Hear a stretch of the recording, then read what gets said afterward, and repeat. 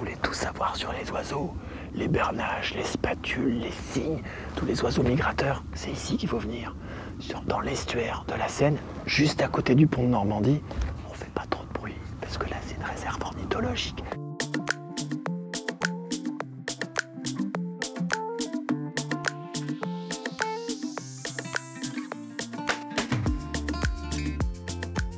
Aujourd'hui, Histoire de se balader vous fait découvrir la réserve naturelle de l'estuaire de la Seine. Allez, c'est parti! Ah, c'est profond! Ah, ah, ah, c'est très profond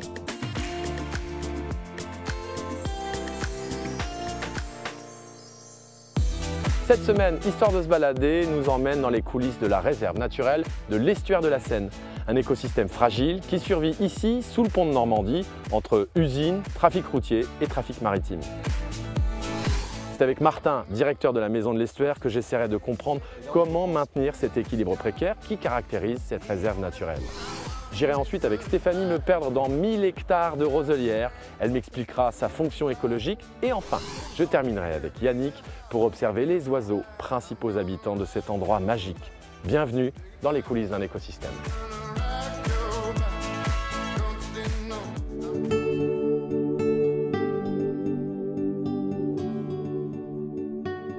Bon là, je me trouve en plein cœur de la réserve de l'estuaire de la Seine.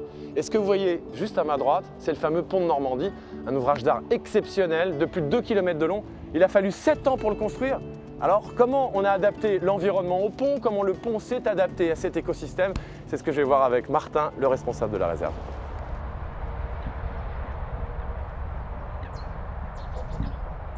Alors, Martin, il est où?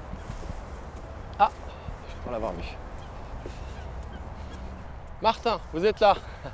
Enchanté. Alors, vous, vous êtes, euh, vous occupez donc de cette réserve particulière qui est juste à côté du pont de Normandie. C'est c'est quoi le nom exact? C'est la réserve de l'estuaire de la Seine, c'est ça? C'est la réserve naturelle nationale de l'estuaire de la Seine. Est-ce qu'on peut aller tout de suite la visiter, qu'on voit à quoi ça ressemble et puis qu'on en parle vraiment sur le terrain? Bien sûr, oui, mais allons-y.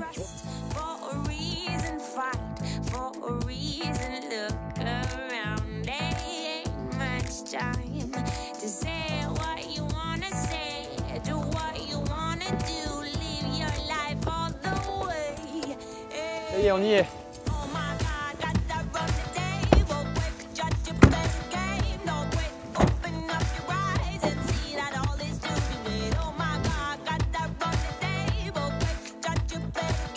No Martin, cette, euh, réserve, elle elle a toujours existé parce que ce qui est étonnant, c'est de la voir à côté de, de ce grand pont de Normandie. Elle a toujours été là? Elle n'a pas toujours été là, elle a été créée en 97. Et après, elle a été étendue en 2004. Et alors, elle est étendue jusqu'à quelle euh, superficie en globalité? Alors aujourd'hui, elle fait euh, 8528 hectares. Donc Ça en fait une des, des réserves euh, naturelles les plus étendues de, de France, euh, enfin de France métropolitaine. Dans quelle mesure on a dû adapter l'environnement à la construction de ce, de ce grand pont, si magnifique soit-il, qui est juste derrière nous? On n'a pas ad- adapté l'environnement en fait. hein. Le- L'environnement a changé euh, Naturellement? Suite à la construction de ce pont et suite à différents aménagements qui ont été faits euh, dans l'estuaire, donc il y a Port 2000 qui est derrière Mhm. moi. Enfin, tous ces aménagements-là, en fait, ont, ont modifié la circulation de l'eau euh, dans Ouais. l'estuaire et euh, ont favorisé euh, la, sédimentation à certains endroits. Et ça a modifié euh, assez profondément la, la physionomie de l'estuaire. Alors ici, si j'enfonce mon doigt dans la terre, c'est ouais, quand même très très humide. Le- euh, la mer, elle arrive jusque-là? Alors, ça dépend des coefficients de marée, mais euh, il arrive, oui, que le- le- la, la zone où on se situe tout de suite là, euh, soit recouverte par la marée. oui. Il y a euh, pas loin de 300 mares hein, dans, dans la réserve naturelle. Euh, dans ces 300 mares, il y en a très peu qui sont naturelles en fait. hein. La plupart Mhm. ont été créées, euh, dans la majorité des cas, pour un usage de chasse au gibier d'eau, et quelques, quelques mares aussi ont été créées pour abreuver le bétail hein, par, les, par les agriculteurs. D'accord. Mais oui, il n'y a aucune mare qui soit euh, 100% naturelle dans la réserve naturelle.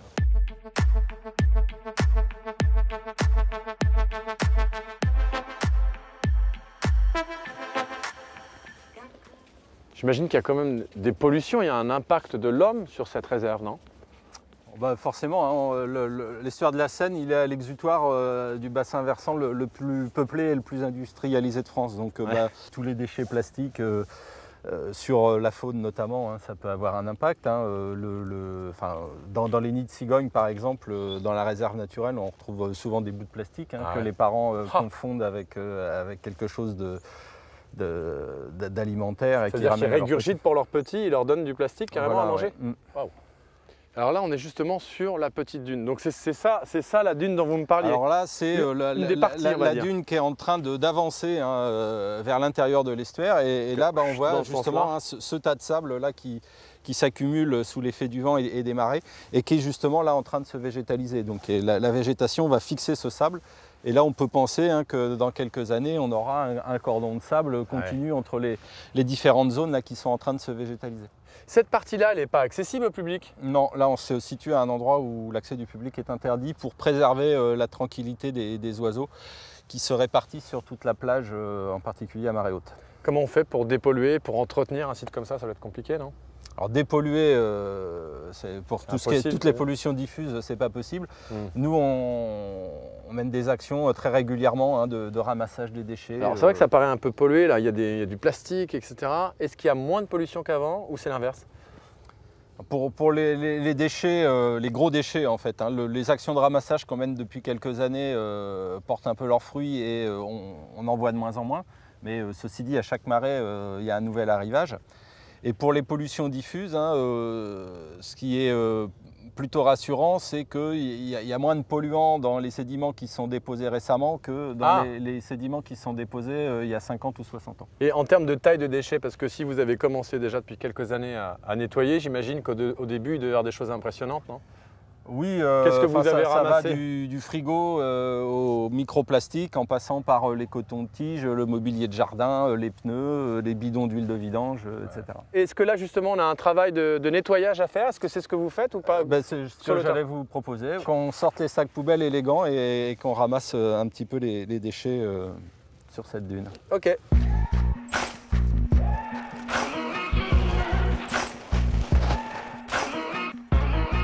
Alors, qu'est-ce qui participe à ces ramassages? Alors on fait des chantiers euh, en interne, nous des fois, on fait aussi intervenir des, des chantiers euh, d'insertion. Et puis euh, on fait aussi de temps en temps des chantiers euh, avec des bénévoles. On fait appel à, à la bonne volonté des gens pour euh, venir donner un coup de main et, et mettre un coup de propre euh, dans la réserve naturelle. Ok, bon, bah c'est parti, alors on se met au travail. Maybe I'm foolish, maybe I'm blind, thinking I can see through this and see what's behind. Got no way to prove it, so maybe I'm lying. Du plastique, du plastique, parce que le plastique c'est très très loin à se dégrader.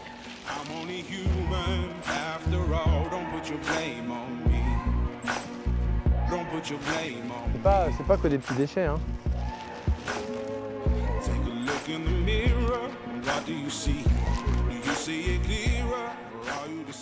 Bon, bah quand même en quelques minutes, ça fait du poids, hein. Ouais. Le vôtre il est comment?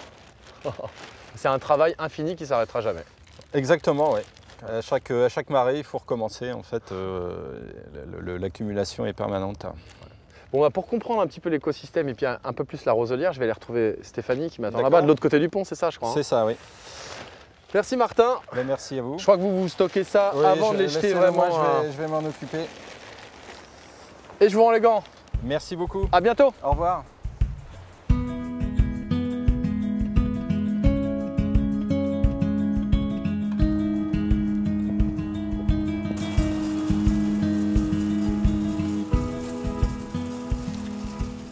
Je me ferai un chemin dans les roseaux pour retrouver Stéphanie. C'est mouillé ici un peu. Bah un peu, ouais, c'est un peu la saison. hein. Allez-y, vous craignez rien. Ça va? Ça va. Bon, c'est drôle de se retrouver dans cet endroit-là. C'est très joli, cela dit. Où est-ce qu'on est précisément là? Et ici, on est dans ce qu'on appelle la roselière. Alors, Ah, Ah oui, c'est pas une roseraie euh, à ne pas confondre. Il y a des gens qui pourraient confondre, ça peut arriver. oui, pas. oui, oui. Donc la roseraie, c'est là où il y a des roses, et la roselière, c'est là où il y a des roseaux. On est l'une des plus grandes roselières euh, Ah, d'accord. de France. On a quasiment 900 hectares Ah de roseaux. Et chez nous, c'est vraiment un, un écosystème qui est euh, primordial et qu'on cherche à conserver euh, euh, dans le cadre de nos missions de gestionnaire. Il y a du roseau partout, sauf euh, ici, il a été coupé quand même. hein. Oui, exactement, il n'y a pas très longtemps. Euh, donc euh, une des particularités aussi de, de la roselière, c'est que c'est un milieu, on va dire, dynamique, qui Mhm. évolue, un peu comme par exemple les prairies. Mhm. On a l'impression que la prairie, ça reste Elle toujours figée, ouais, figé, etc. Mais non, elle reste comme elle est, parce qu'on a des animaux qui pâturent, parce qu'on a des agriculteurs qui viennent faucher l'herbe, etc. Pour la roselière, alors c'est un peu le, le même principe. Donc pour éviter que cet écosystème l'écosystème euh, ne vieillisse, on essaye d'entretenir en fait cet espace-là en le fauchant. D'accord. Et en fait, euh, on a réussi en fait à, à allier euh, à la fois les besoins de la fauche pour l'écologie et aussi l'intérêt de la fauche pour l'économie. Ah oui, pour faire des toits en chaume alors. Voilà, exactement. C'est une plante qui se développe euh, très rapidement euh, sur de très grandes surfaces à partir d'un seul pied. Comme le bambou. Voilà, et ce qui fait que euh, ma collègue euh, botaniste euh, a- a un petit- a- me dit toujours qu'on ne sait pas, mais si ça se trouve, euh, leur roselière de l'estuaire, elle a été colonisée par un pied de roseau. Et que si ça se trouve, c'est à partir euh, Ouais, d'un ou deux pieds de roseau que euh, les 1000 hectares, enfin quasiment les 1000 hectares de roselières se sont développés dans, dans l'estuaire. Ça tombe bien ce que tu dis parce que je voulais retrouver le premier pied de roseau, le, le roseau originel de la baie.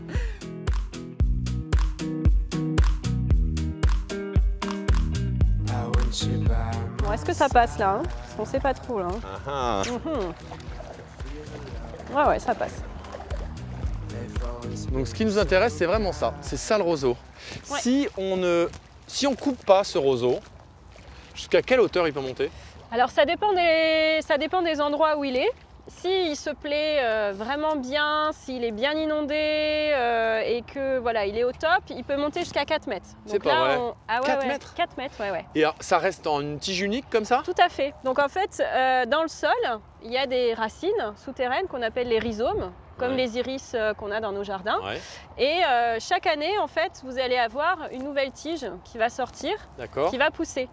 Euh, Ah, ce qui fait ouais. que c'est très difficile aussi quand on commence à être, quand on, il y a du roseau quelque part, de s'en débarrasser. Et c'est ce qui fait aussi que quand le roseau est présent à un endroit, il se développe très très vite Ah, si on lui en donne la sous liberté. Voilà. En fait, si je comprends bien, en imaginant que ça c'est le centre, le centre du roseau, le roseau est piqué ici, et là il y a des racines qui partent dans tous les sens c'est ça. et, qui vont ressortir. L'année d'après, vous Mmh. allez avoir un bourgeon qui va sortir de votre racine et qui va redonner une nouvelle tige. Stéphanie, est-ce qu'on peut aller voir ces très hauts roseaux Ouais, Il y en a. C'est parti. Allez. Je te suis.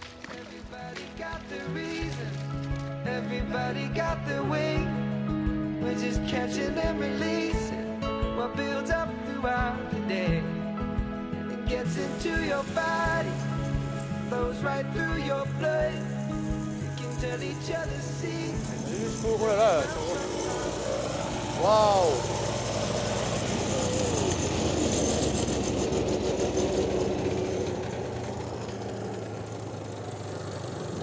Bah, bonjour, Tout le monde se connaît ici. ça va? Bonjour Bruno. Bonjour. Bon, on était avec Stéphanie, elle me fait visiter ici la roselière. Bon, Oui. Vous voilà, donc euh, moi j'aimerais bien que vous m'expliquiez ce que vous êtes en train de faire. Ma mission euh, est d'entretenir, de faucher cinq fois par an, mais en mécanique pure. Mais alors moment- pourquoi il faut faucher 5 fois par an? Pourquoi c'est important en fait, d'entretenir en fait, quand j'ai commencé à faucher il y a 4, 5, 5, 6 ans maintenant, Mm. eh ben, en fait, ces bordées de mares venaient d'être restaurées. C'est-à-dire qu'en fait, avec un bulle, eh bien, on a, ils avaient refaçonné Ouais, les mares. Et l'inconvénient de, de bouger la terre comme ça, c'est que euh, sont apparues plein de plantes indésirables.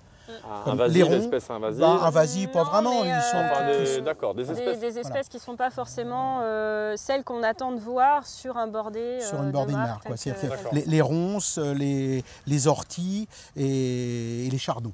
Donc quand, j'ai commencé notamment à faucher cette mare-là, il n'y avait que ces trois espèces, pour Ouais. ainsi dire. Et en fait, au fur et à mesure que j'ai fauché, ramassé, exporté, j'ai traumatisé en fait ces, ces plantes-là qui en fait se sont anémiées et Ah, les graminées ont pris le dessus. Maintenant, on a de Euh, maintenant, on a de l'herbe. quoi. euh, Et vous, vous utilisez des chevaux Jusqu'au 15 mars, pour être très précis, j'ai le droit d'utiliser mes chevaux avec un engin à moteur. Donc chose que je fais ici, c'est-à-dire qu'après le 15 mars, je n'aurai plus du tout le droit d'utiliser de moteur. Ah, le, le fait de travailler avec des animaux, ça, ça- ça change vraiment quelque chose par rapport, vous, vraiment, à votre euh, travail et peut-être l'en- l'engagement que vous pouvez avoir par rapport à votre Bah, travail? c'est- pas du tout. Du, je viens d'un milieu qui n'est pas du tout. C'est pas mon premier métier, quoi. Je veux dire. Donc, je suis Mhm. arrivé à l'attraction animale, euh, on va dire par conviction. J'avais envie de changer, euh, Ouais. changer de vie à l'époque, et j'ai trouvé, je trouve extraordinaire de pouvoir travailler avec des chevaux. hein. Bon, bah, je vous remercie, Voilà. Bruno. Je vous laisse- on Bah, vous laisse écoutez, travailler et nous, on va chercher des grands roseaux. Vous ne faites pas attaquer par les sangliers parce qu'il y en a beaucoup.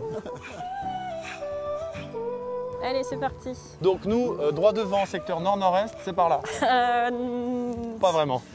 Enfin, on va tout Sud, droit, quoi. sud, sud-est à la Oh, rigueur. j'y étais pas tout à fait, quoi.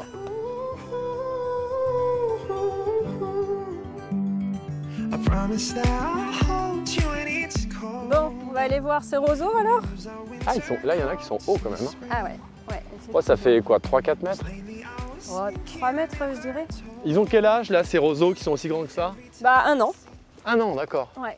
Ils ont le même âge que ceux qu'on a vus euh, en fait tout à l'heure. Euh, sauf qu'ici, en fait, ils sont, ils sont mieux ils- et du coup, ils poussent, euh, ils poussent davantage que euh, dans d'autres secteurs où ils sont peut-être moins longtemps sous l'eau et où ils ont peut-être moins à manger. Et voilà, quoi.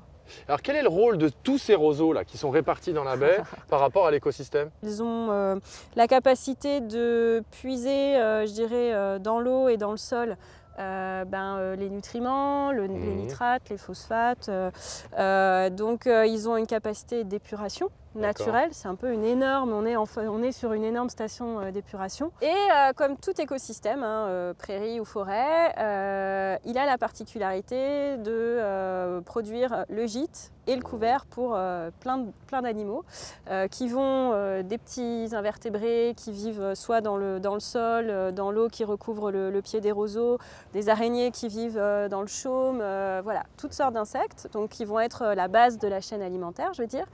Il va y avoir aussi des oiseaux, Mhm. alors des tout petits oiseaux de la taille de ma main, comme des mésanges, qui vivent exclusivement dans les roselières, parce qu'ils vont se nourrir, par exemple, la panure à moustache, qui est un petit passereau, va se nourrir l'hiver. Ah, de... Elle va se nourrir des graines et euh, quand les beaux jours vont arriver, elle a un système, euh, en fait, il a son système digestif qui va évoluer et qui va faire qu'elle va pouvoir manger euh, les insectes parce que euh, la période va faire que euh, les insectes vont se développer, etc. La nature est bien faite. Voilà. Et puis on va avoir aussi des, des oiseaux beaucoup plus gros qui vont plutôt nicher au sol. On a notamment des espèces qui sont très menacées, comme le butor étoilé, qui est un, un animal de la famille des hérons, qui vit que dans les roselières et oui. principalement dans les très grandes roselières. Il Ah, a besoin donc de ici, beaucoup par d'espace. exemple. Exactement.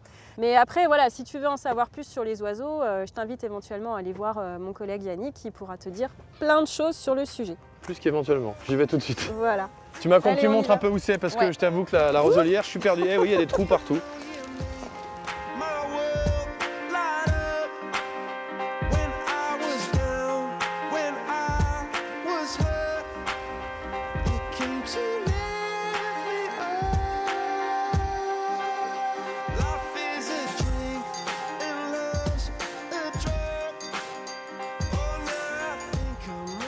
Pour savoir comment les oiseaux vivent et s'adaptent à cet environnement, je vais retrouver Yannick, un des ornithologues de la réserve.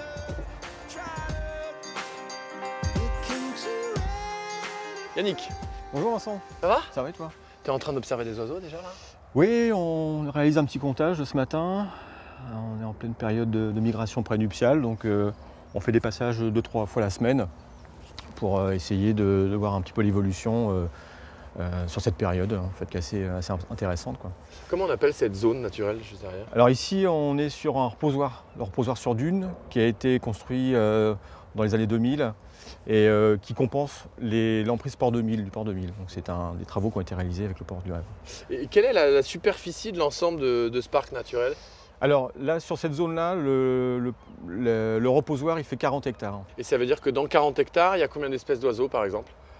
Alors ici, sur toute la réserve, plus généralement, on peut dire qu'il y a à peu près 280 espèces hein, qui, qui transitent, qui se reproduisent, qui hivernent ou qui restent à l'année. Alors là, je vois des, des taches euh, blanches, noires, je les vois un petit peu loin. Mhm. C'est quoi les oiseaux qu'on peut observer ici? Alors les taches blanc, blanches et noires, ce sont des avocettes élégantes. Donc c'est un petit échassier euh, avec un bec très spécialisé, un bec incurvé vers le haut. Donc, généralement, toute cette grande famille de limicoles sont, euh, ont une morphologie adaptée euh, pour s'alimenter. Donc soit ont des becs très très longs, euh, des becs courbés vers le bas ou courbés vers le haut. Dans celui-ci, c'est un oiseau, euh, donc de, comme tu le disais, de couleur noire et blanche, et qui a un bec courbé vers le haut, qui lui permet de s'alimenter en euh, naviguant comme ça avec, sa- avec son bec sur le clap de, de quoi, pour essayer de, pour trouver de la nourriture. Est-ce qu'on peut, je peux prendre tes jumelles pour voir peut-être? Alors, là, on, on les voit là directement devant là? Alors là, juste devant, dans l'axe, euh, Ah oui, d'accord, ok. Mis à part les avocettes, on a pas mal de canards en ce moment qui transitent ici, euh, principalement du canard souché, qui est un canard euh, assez spécialisé avec un bec aussi euh, très très long, et qui lui permet de filtrer, de pomper l'eau et de la filtrer, de, re- de retenir en fait les, les petits organismes, les petits invertébrés, les, les petites graines. Pour ces oiseaux-là, ce qui est intéressant de voir, c'est le dimorphisme. Alors le dimorphisme, c'est quoi? C'est que Dimorphisme. dimorphisme sexuel, c'est-à-dire que les, les mâles et les femelles n'ont pas la même couleur. Ah, d'accord. Voilà. Oui, mais enfin, ça peut être comme. euh, Il y a beaucoup de- d'espèces comme ça, par exemple, rien que le colvert.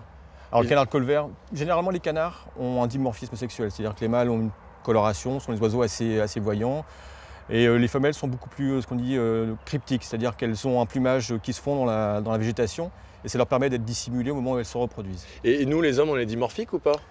Quand même, un petit Hein? peu. Un petit ça, peu. hein? D'accord. Donc on a quand même une, petite similitude avec les oiseaux. Voilà, mais certains oiseaux justement n'ont absolument aucun dimorphisme. La seule manière de, les, euh, de pouvoir faire la différence entre mâle et femelle, c'est uniquement les organes reproducteurs qui sont visibles Ah ouais. uniquement une partie de l'année. Ce qui fait que le Ah restant de, on va On dire pas, à partir de septembre, octobre, novembre, on voit absolument plus rien. Et ça, ça vaut pour le rouge-gorge par exemple, pour ces Ah ouais. espèces-là. Et le site là précisément où on est, c'est un site qui est ouvert à tout le monde. On peut venir ici pour observer les oiseaux? Et les deux observatoires qui jouxtent le, leur posoir sont accessibles au grand public. Donc on peut y aller euh, en problème du dimanche, mais à partir du moment où on reste dans les observatoires, on peut facilement voir des oiseaux et parfois très très près. Quoi. On- On est juste à côté du port du Havre. Oui. Euh, donc avec la grande zone industrielle qui est juste là, il y a des raffineries, il y a plein de choses. Euh, Est-ce que les oiseaux arrivent à s'habituer à ça, à, à s'accommoder, à vivre dans cet environnement qui a priori est très naturel ici, mais juste à côté de quelque chose qui est à l'opposé? Alors, même si les oiseaux font preuve d'une grande plasticité en termes de biologie, on peut quand même dire qu'il y a euh, des éléments perturbateurs qui ont quand même eu un impact dans le temps.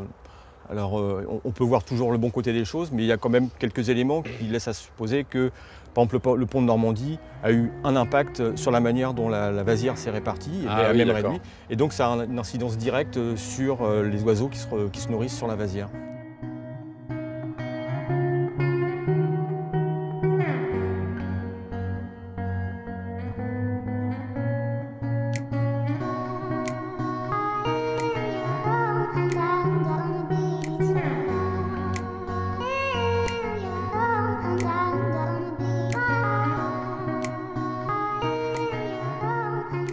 Bah écoute Vincent, si tu veux, je peux te proposer d'aller dans un secteur euh, pas accessible au public, Ah, ok. mais euh, avec un coup de chance, on verra des, des belles choses. Puis on a, on a de la chance, il pleut Bah, pas. il fait beau, hein. Eh bien, bon. Vive la Normandie. Vive la Normandie Ça va, tu veux que je te prenne ça, allez. Bon. Je vais faire ton Sherpa. allez Je te donne le sac. on- Non, oh non, faut pas pousser.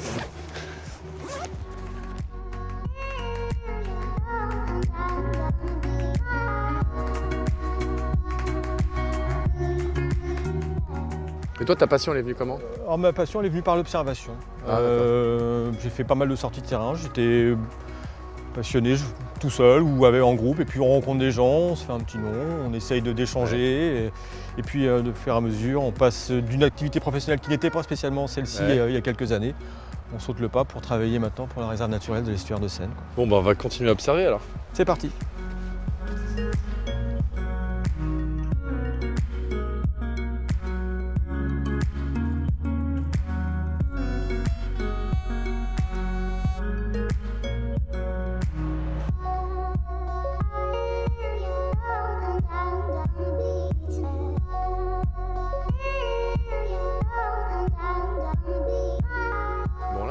Beaucoup d'oiseaux. C'est à quelle heure euh, de la journée où ils sont plus nombreux ici Alors généralement les oiseaux sont plus actifs le matin, surtout les oiseaux chanteurs.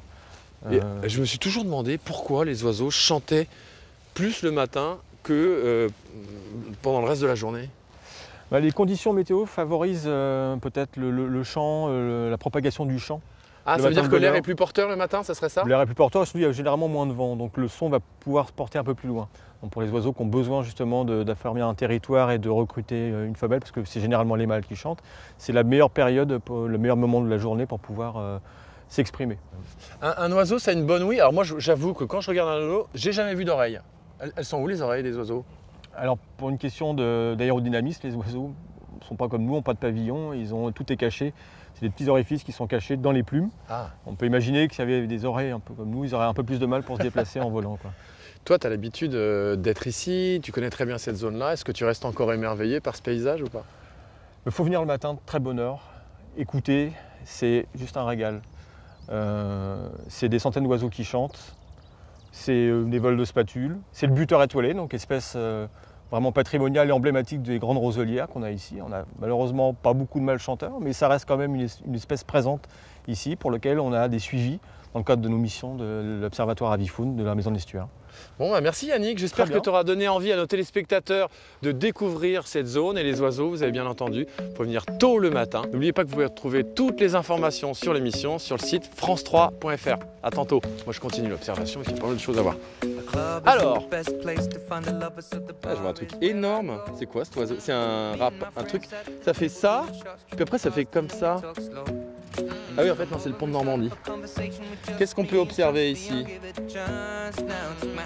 Bon, bah là, il y a un train qui est passé, des voitures. Oh là là Une espèce en voie de disparition, Yannick, là. Ericus piersonas. Oiseau très très rare.